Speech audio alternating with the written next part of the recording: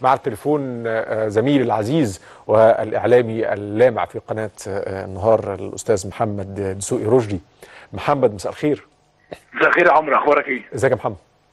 مساء الخير على كل الناس اللي بتسمعنا. أنا بس يعني حزين جدا إن إحنا نكون بنتكلم في حاجة زي كده. طمني طمني على السقف اللي كنت فيه مع الأبلة. لا بغض النظر عن سقف الأبلة أنا حزين فعلا إنه برلمان مصر فيه نواب عاملين راسهم براس عروسة. هم عارفين إيه عروسه ده شيء محزن شيء محزن أصلا يصلح للنقاش وشيء محزن إن منطق شهاب وجيه وهو بيكلمك وهو شخص محترم وأنا عارفه كويس وهو بيكلمك دلوقتي غضبان من فكرة إنه آه ما ينفعش نقبل إن حد يقول على حد من البرلمان الصاع ضايع أنا ماشي. ممكن يكون عندك مليون تحفظ على اللفظ وعدم استخدامه. بس من باب أولى إن شهاب وجيه أو النواب اللي في البرلمان الأول يقولوا لنا هيعملوا إيه مع نواب البرلمان؟ اللي بيطلعوا على الشاشات سواء كمذيعين أو إعلاميين أو بيكتبوا في الجرايد وبيشتموا في كل الناس شتائم تصل لحد التخوين والإهانة. حد اتهام الناس في أعراضهم وشرفهم. ومع ذلك لم نسمع شخص واحد في البرلمان أو نائب واحد في البرلمان يتقدم بطلب واحد لواحد من هؤلاء اللي جالسين جنبه جوه قاعة البرلمان يقول له أنت ليه بتستخدم هذه الألفاظ؟ تمام. البرلمان كله الآن منتفض علشان السخرية بتاعت أبلة فهيتة بتاعت عروسة بينما ما عندهمش عادي جدا لشتائم التخوين والألفاظ الخادشه للحياه اللي بيقولها نواب إعلاميين وبيطلعوا وبيقعدوا جنبهم في نفس الكرسي أصدقها إزاي؟ عاقلها إزاي؟ ثم إحنا قدام برلمان جاي علشان يكمل العمليات الديمقراطيه في مصر. فهي العمليات الديمقراطيه ده تكملها دلوقتي إن كل ما حد يتكلم كلمة مش على مزاج حد ربما تكون غلط بالمناسبة ربما ما تكونش صح بالمناسبة. يبقى السبيل والحل انه بدل البرلمان اللي فكرته أصلا قايمة على التشريعات والمناقشة والحوار يبقى أول كلمة أطلع بيان نقفل القناة ونقفل البرنامج. إذا كان البرلمان أو مجلس النواب أعضاء متخيلين إن هو دور البرلمان فالله الغني عنه. الله الغني عنه وعن أي حد متخيل إنه بداية الحوار والنقاش اقفل. بداية الحوار والنقاش ما اسمعش صوت حد. بداية الحوار والنقاش اقفل لي برنامج أو الغي لي محطه حالة من التناقض الحقيقة أنا شايفها وحزين جدا إحنا بنتكلم في حاجة بالشكل ده.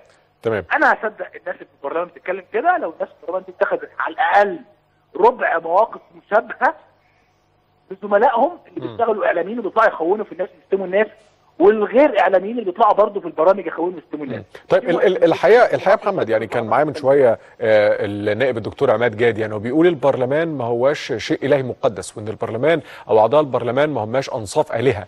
ففكرة النقد وحدود النقد المسطرة الرئيسية ليها أو فيها وأنت واحد من اللي اشتغلوا على ده محمد أو معنيين بيه هو القوانين الإعلامية أو القوانين المنظمة للإعلام والعمل الإعلامي.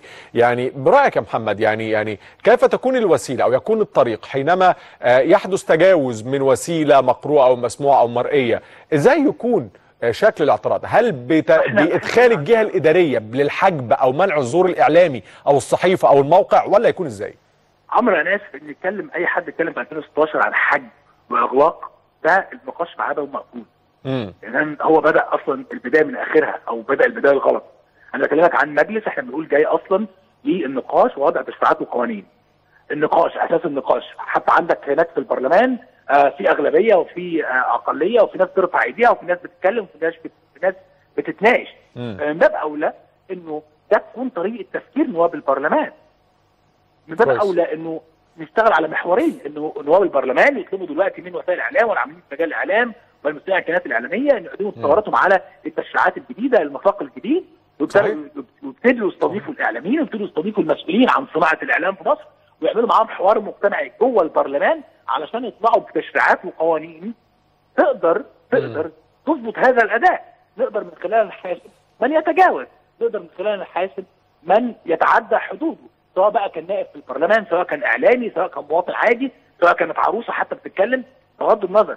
لكن إن أنا البداية بتاعتي كنائب في البرلمان بداية بيانات إغلاق ومنع وحجب مم. أنا آسف طيب آه،. خايف من مستقبل حرية الراي والتعبير يا محمد يعني نرجع تاني آه، آه، مجلس زي مجلس الشعب قبل يناير ينتفض ويعمل جلسة مطولة عشان يمنع رواية لو تفتكر معايا أو عشان يمنع إعلان أو مشهد في فيلم هل هل ده بيصب في النهايه في حرية الرأي والتعبير أو في حرية الرأي والتعبير بعد ثورتين يا محمد وب- وبرلمان الكل بيشهد له إن هو من أكثر البرلمانات المصرية نزاهة في التاريخ انت بتقول أنا خايف أنا اسف أنا مرعوب. مرعوب مرعوب. على آه، حرية الراي والتعبير. لو كان المفترض في النواب اللي هيحموها إن طريقة تفكيرهم مش النقاش ولا الحوار ولكنها الغلط والحج. تمام. لازم نترعب إحنا مش لازم نخاف.